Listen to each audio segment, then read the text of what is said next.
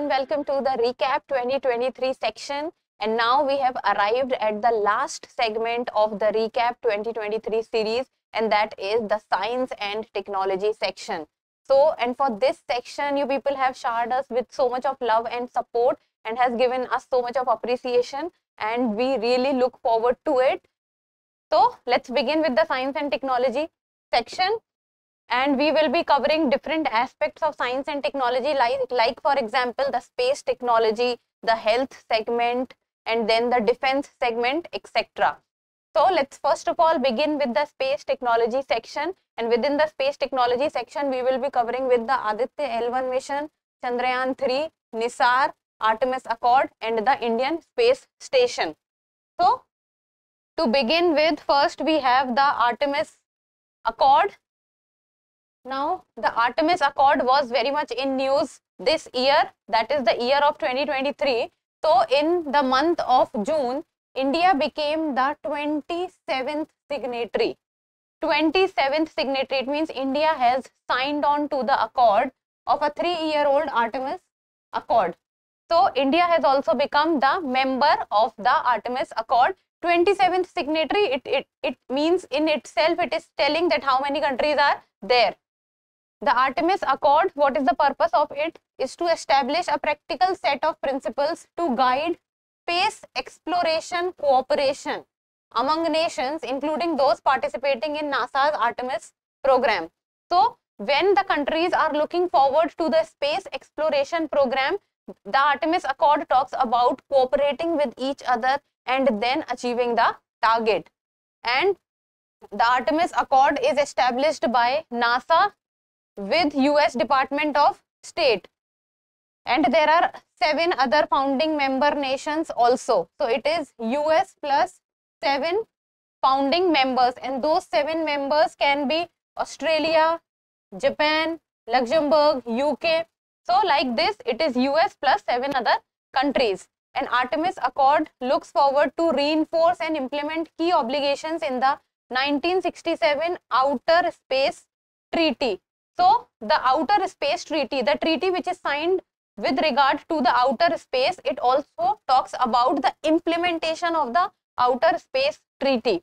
So from this respect, what becomes important for you is you should know that India has signed, India has been the 27th signatory of the Artemis Accord. Then you should know Artemis Accord is established by and then you should know that what is the principle of the Artemis Accord. Then comes the Gagan technology. So India conducted Asia's first and whenever it's about first first time happening something it becomes all the more important. So India's India conducted Asia's first demonstration of performance based navigation for helicopters. First of all you should not confuse this Gagan technology with the Gaganyaan mission of India. So there these are two different this Gagan is related to helicopters or is, is in observance with the helicopters and it is Asia's first demonstration. And this was a flight from Mumbai to Pune that is Juhu in Mumbai to Pune using Gagan satellite technology. So Gagan is the name of the technology. It was first time conducted, the demonstration was conducted for the very first time in Asia from Juhu, Mumbai to Pune and this is with regard to the navigation for helicopters. And Gagan stands for GPS aided geo augmented navigation. So navigation with respect to GPS. It means using the GPS technology. Now India also has its own technology and that is the NAVIC. And it is a state of the art space based augmentation system. And what will it do? How it will be useful is that it will add more accuracy to the output of GPS navigation system by providing local geographical positioning for better accuracy of location of aircraft for more efficient traffic management. Now, what will happen is to improve the accuracy of the GPS system, this Gagan technology will be helpful and with regard to the traffic management rules also this will be helpful in, in managing the traffic all over. So, this was about the Gagan technology. Then comes the historic Chandrayaan 3 and 2023 has been the year of ISRO and especially with regard to the historic and the successful Chandrayaan 3 mission. So, Chandrayaan 3 mission was to demonstrate end-to-end -end capability in safe landing and roving on the lunar surface. So, this was the southern side of moon that is lunar surface and it was about the soft landing at the lunar surface which made India the first country in the world to do it. So, Chandrayaan 3 consists of a lander and a rover. Lander is Vikram and rover is Pragyan. So, it was the lander which landed on the soft surface and then after the soft landing, the Pragyan rover came out of the lander. And then on July 14, 2023, it took off from the Satish Dhawan Space Center in Sriharikota. And the historic moment was when the lander successfully touched down the lunar south pole on August 23, 2023. This was the historic date because Chandrayaan 2 Chandrayaan 2 crashed at this site that the lander Vikram was not able to land properly so this was the moment that every Indian was waiting for and the historic and the successful moment came on August 23, 2023. Then in the year 2019, Chandrayaan 2 Vikram lander crashed onto the moon's surface due to a technical failure. And in the year 2023, we successfully did it. The touchdown site of Vikram lander in Chandrayaan 3 has been named as Shiv Shakti while the Chandrayaan 2's lander in 2019 site has been named as Tiranga. So you need to remember first of all Chandrayaan 3 belongs to ISRO India about the soft landing on moon at the lunar surface. Then India became the first country to do it and then you should be able to know the name that is the Vikram lander and the Pragyan rover. Then why is it to see and observe the lunar surface and the environment there then you should know about the Shiv Shakti point and the Tiranga point. Next, we have the Aditya L1 mission and the Aditya L1 mission talks about sun. The major focus is sun, corona, that it is first space-based observatory class Indian solar mission. Indian solar mission, first. To study the sun from a substantial distance of 1.5 million kilometers so it is it would be India's first mission to study sun or sun solar corona. Then the launch was conducted using the PSLV C-57 rocket and the spacecraft is planned to be placed in a halo orbit. So where it will be placed? It will be placed in a halo orbit around the L1 point of the Sun Earth system. Now what happens is that between the Sun and the Earth there are points so between those points on the L1 point that that is the Lagrangian point 1 that is the L1 point it is where in the halo orbit the spacecraft will, will be set up or planned. And the aim of the Aditya L1 mission is to provide valuable insights onto the solar corona, photosphere, chromosphere and solar wind. So just remember one word whenever we talk about Aditya L1 mission that is sun that is the solar corona. So if even if you are not aware about anything with regard to the mission just focus on one word that is the solar corona and the sun. So you might get things right because many a time the instincts also works well if you are aware about the most important thing. And the objective is to gain a deeper understanding of the sun's behavior if we will be able to study and get the knowledge of the sun's corona then we will be able to know or to identify that how the sun behaves in this respect. Then comes the nisar mission. And nisar is a mission between us and india that is the nasa and the isro so n stands for nasa i stands for isro that is india and the us so it is built by the space agencies of the United States of America and India that is NASA and ISRO under a partnership agreement which was which was signed way back in the year 2014 and the expected launch of NISAR is in January 2024 it means that the month which is presently going on from Satish Dhawan Space Center into a near polar orbit polar orbit. It means far ahead. The satellite will operate for a minimum of three years. Its lifespan for NISAR is three years. Low Earth Orbit Observatory. So it is a low Earth orbit observatory, but will be placed in a near polar orbit. Then NISAR will map the entire globe in 12 days. Now this is what will be special with regard to the NISAR mission that it will map the entire globe in just 12 days. So important points is NISAR is between India and US will be placed in the near polar orbit. Mission life is for 3 years. It is a low earth orbit observatory. Then comes the Indian Space Station. As we have the International Space Station managed by different countries, India is planning to have its own space station and that is the Indian Space Station in the coming future. So, the Prime Minister of India has charted a visionary roadmap for ISRO. So, the Prime Minister of India had a meeting with the high officials of ISRO and the, the Prime Minister of India led a visionary roadmap in front of ISRO that in the coming many years what can be the what can be the trademark missions for ISRO. Then the objective of Indian Space Station would be to establishment of an Indian crafted indigenous space station which will be known as the Bharatiya Antariksh Station which will be India's own Antariksh station managed by India.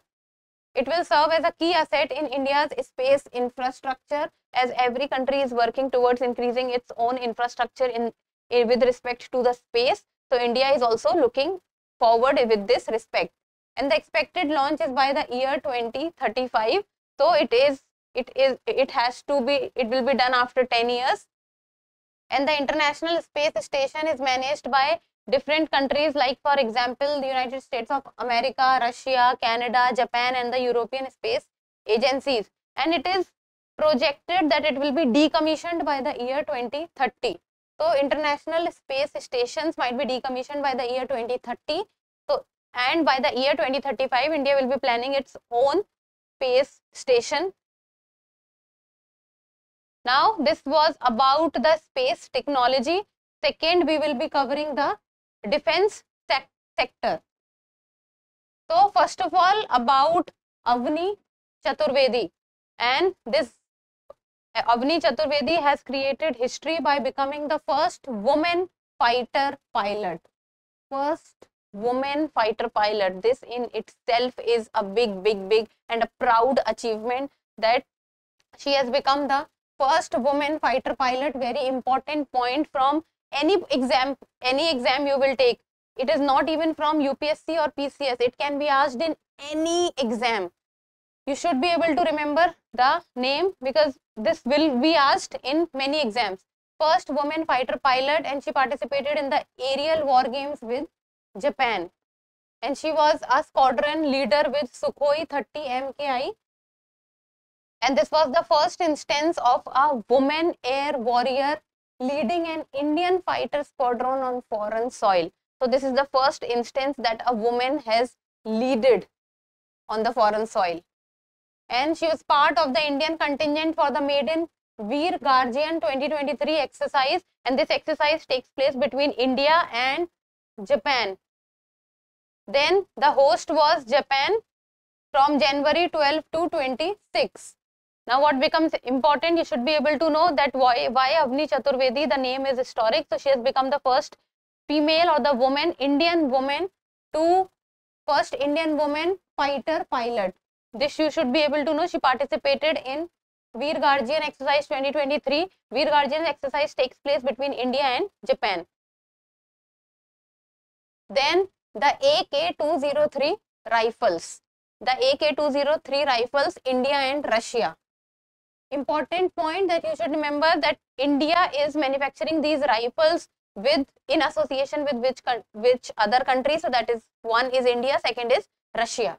So India and Russia have begun the joint production at a factory in Amethi Uttar Pradesh. And Amethi Uttar Pradesh I hope you people know that why is it so famous and why it remains in news all the time. And more than 6 lakh rifles are to be manufactured in India important point as part of a joint venture. So it, it is a joint venture between India and Russia. Will be factory will be set up and manufacturing will be done in Amethi, Uttar Pradesh, and this will be manufactured in India. Indo-Russia Rifles Private Limited established between the Indian Ordnance Factory and then other part is the Russian factory and this is a rupees 5124 CR deal. It was signed in the year 2021 between India and Russia.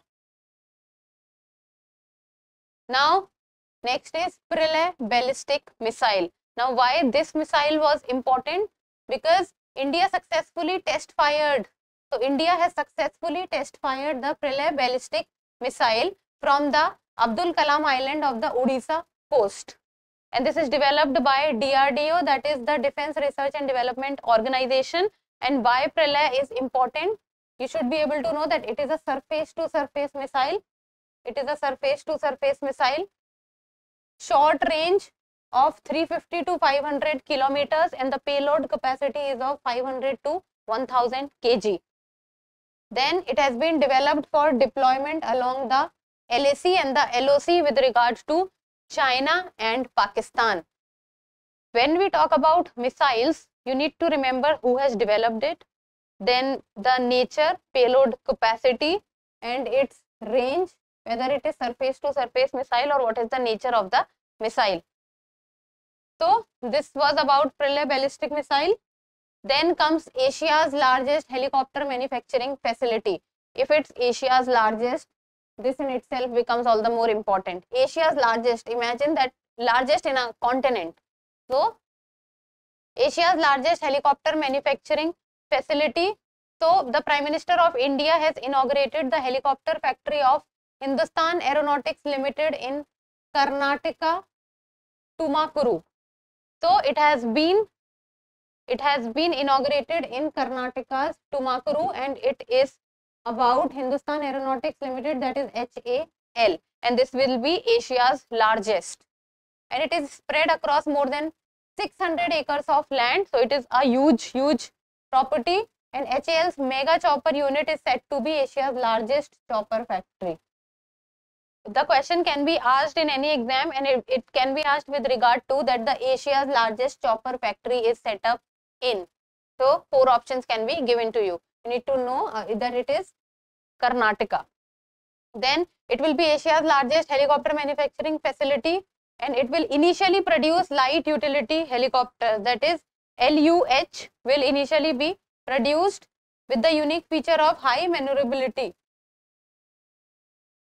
So, here you should know about the name of the state that is Karnataka. Then you should be knowing what it, what it will be producing that is the helicopters. So this was it. And who has established it? That is HAL. Now about the SIPRI report 2023. So SIPRI report 2023 becomes important as this can be quoted in prelims, this can be quoted in your answers in mains examination and any other examination also because many a times it has been the data from this report has been asked because it talks about the import and export of the defense equipments. So India remained the world's largest arms importer, world's largest arms importer from 2018 to 2022, followed by Saudi Arabia. So between the year 2018 to the year 2022, so that is 2018 to 2022, India imported the maximum amount of arms. Second was Saudi Arabia. Then Russia was India's largest arms supplier. India's largest arms supplier was Russia and the period was from 2013 to 17 and then again from 2018 to 2022. Then France has emerged as the second largest arms supplier to India. Now the second largest arms supplier to India was France and this was between 2018 to 2022 and the percentage if we talk about then it was 29%. So first was Russia, second was France and India was biggest importer followed by Saudi Arabia. And India was the third largest arms supplier to Myanmar. Third largest arms supplier to Myanmar. Should remember few important facts that is who is importing the maximum largest or the maximum arms that is India followed by Saudi Arabia. Who is supplying arms to India? Russia followed by France. Then about MQ-9B drones. So US President and India's PM has welcomed India's plans to procure General Atomics MQ-9B high altitude long endurance unmanned aerial vehicles. So you need to know the name MQ-9B drones between India and US. So this will be assembled in India. So the parts will come and assembling of the drones will take place in India and it will enhance the intelligence, surveillance and the reconnaissance capabilities of India's armed forces across domain domains. So what will happen is that it will be first of all between India and US and then it will be assembled in India. It means all the parts will come in India and then the uh, coming together of the parts will be happening in India and it will help in increasing the capabilities of the Indian Air Force with regard to the surveillance, the intelligence aspect. So this will be a huge boost to the Indian Air Force. So this was about the defense sector and the next that we will be talking about is the health segment. So whatever important things that has been that has taken place in the year 2023 we will be discussing this as it is a recap so that is why we are going on not very much in detail but we will be we are telling you all the important things that has happened. So the first dengue vaccine or the first dengue vaccine. So researchers as at india's national center for biological science in collaboration with nine other institutions in india africa and the us has been able to come up with the first dengue vaccine. And this will be developed this is developed by india's first and only. India's first and only. DNA vaccine candidate for dengue fever. DNA vaccine. So it is a DNA vaccine and this will be India's first and only candidate. So what is a DNA vaccine? Now what happens in a DNA vaccine is that it uses a small piece of DNA. So a small piece of DNA will be used that codes for a specific antigen. So that DNA will code with a specific antigen. Only the specific antigen with which it will code. And now what does the, what is the work of the antigen? So antigen what it does, it, it triggers an immune response. So when the DNA will connect with the specific antigen, the antigen will create an immune response. Then codes for a specific antigen from a pathogen such as a virus or bacterium to stimulate an immune response. Now what happens is, this is a DNA, this is a antigen. It connects with the antigen and the antigen, what antigen will do? The antigen works with regard to giving directions to with regard to the increasing the immunity of the body and that is when the whole body starts to work whatever signals that has been sent. And the DNA is injected directly onto the body's cells. So the DNA is injected, it means through injection it is given and it is directly injected into the cell where it instructs the cell to produce the antigen. See, this is the injection, imagine. It is injected into the body or the cells. Then these are the cells. Then what the cells will do? The cells will come or give instructions to the antigen and then antigen will talk or give instructions about increasing the immunity of the body. Then what is dengue? Dengue is a mos mosquito borne. So it is a mosquito borne tropical disease which is caused by a dengue virus and that virus is a flavivirus. It is transmitted by several species of mosquito, Aedes mosquito. So it is a mosquito borne disease, tropical disease, then flavivirus. Mosquito is the is the mode of transmission and then it is the Aedes mosquito. Then comes the Nipah virus and Nipah virus was in news in the starting of the year 2023. So Nipah virus has made a resurgence in the state of Kerala with two fatalities and it is a bat born bat. So bats are responsible for the cause of the Nipah virus and it is a bat born zoonotic disease. Zoonotic disease or zoonotic virus means it can be transmitted from animals to humans and that is why these viruses are very very dangerous and the organ and the organism that causes Nipah virus encephalitis is an RNA. So what causes is is an RNA that is the ribonucleic acid and is closely related to the Hendra virus. So Nipah virus is bat-borne zoonotic virus and it is an RNA virus. Next comes the aspect of miscellaneous. It means whatever important has happened with regards to other things. So we will be covering it. And first is the Miyawaki plantation method. So this method in this year was very much in news because the Prime Minister Narendra Modi in his Man Ki Baat program has talked about and discussed about this technology or technique of Miyawaki plantation. And this has been named after the Japanese botanist Akira Miyawaki. So what does it do? It involves planting of trees in a short area and the plantation is very dense but very effective. So it involves planting two to four different types of indigenous trees within very every square meter. So it means you can see like imagine a small area. So different different types or the sizes of trees will be planted there so that within a small area more number of trees should be there. It means dense plantation takes place. And then the objective is to densify green cover within a small parcel of land. So this technology or this technique has been considered to be very good for increasing the tree cover with respect or with regard to the urban areas, the metropolitan cities. Then trees become self-sustaining and they grow to their full length within few years. Self-sustaining. So the types of trees that are planted can be seen that they are not the trees which require very high maintenance.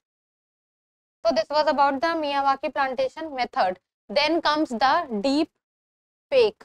The deep, deep fake controversy happened and this controversy was uh, was highlighted to a very high extent and this also brought in open that the problems which are also coming up with the use of the artificial intelligence technology and this happened when an Indian actress was involved in it. So a deepfake video showing an Indian actress has sparked outrage and concern over the misuse of the artificial intelligence technique to create realistic but fake videos also known as deepfake. Realistic but deepfake fake videos. Now what happens is, now imagine there are two images, this is first and this is second. So one is the real image and one is the fake image. Now what with regard or with use of the artificial intelligence technology, the real image of the person will be taken and then the image will be used somewhere else and then the video or the pictures will be circulated and that is why it is called deep fake. Deep fakes are synthetic media that use artificial intelligence to manipulate or generate visual and audio content. So for the generation of visual and audio content, it is being used and the problem that is arising is that its use is increasing. So the, and this is one of the major concern of the artificial intelligence technology.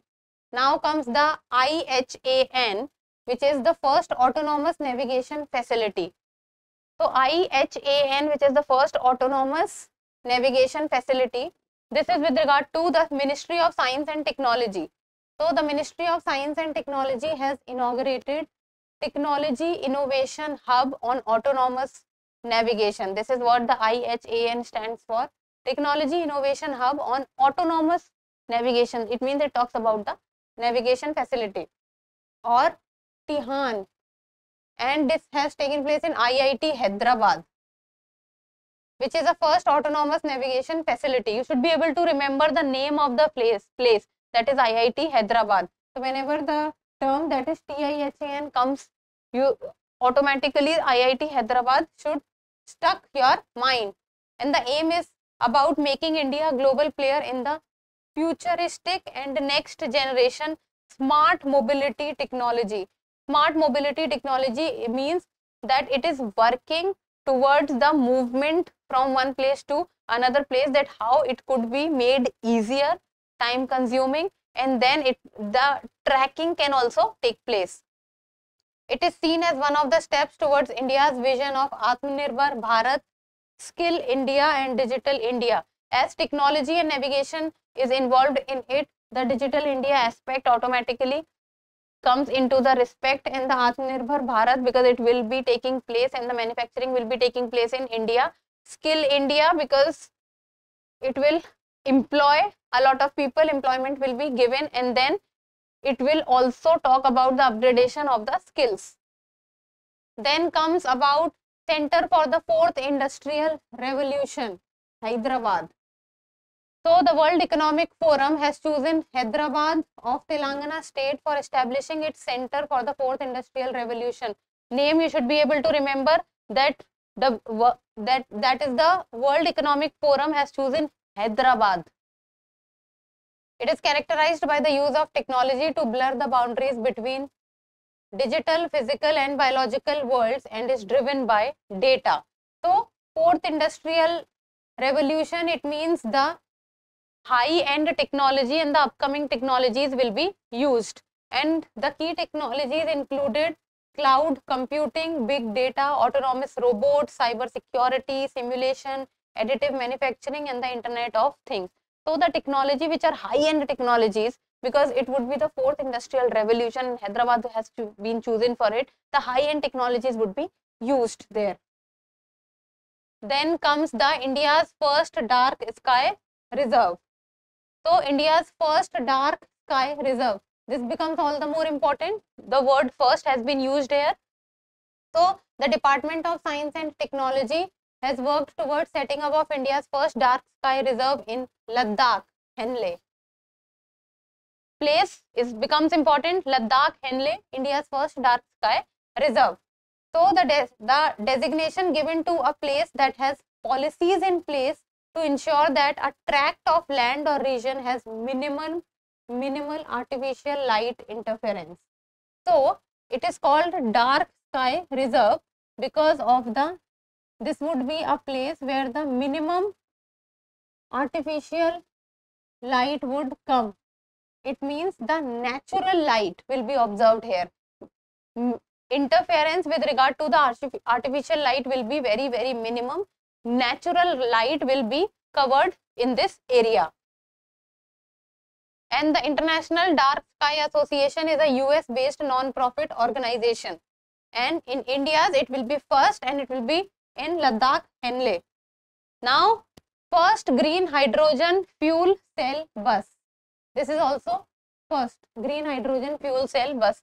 So, the Union Minister of Petroleum and Natural Gas has flagged off the country's first green hydrogen fuel gas bus in New Delhi. Place becomes important and green hydrogen fuel cells why are they so much in news and why is it that everyone is talking about and all the environmentalist scientists are also talking about moving towards the green hydrogen because they are clean as compared to the fossil fuels. They are reliable they are sustainable they are quiet they are efficient source of high quality electric power and they are economic also. It means that they are it is the fuel of the future. Then they use green hydrogen as a fuel to drive an electrochemical process that produces electricity with water and heat as the only byproduct. Many a times the, the process which is electrolysis is asked and what is also asked is the byproducts that what can be the byproducts of it then you should remember that water and heat can be the byproducts or the only byproducts that is water and heat. So first green hydrogen fuel cell bus new Delhi. Why green hydrogen is important and the process involved is electrolysis. Byproduct is water and heat. So this was about the science and technology section and with this we comes to the end of our recap 2023 series. So we hope that you liked it and you appreciate our efforts and with this we also hope that you will keep on watching and supporting the Drishti IAS channel. So Thank you so much. And till we meet next time, keep reading, keep writing.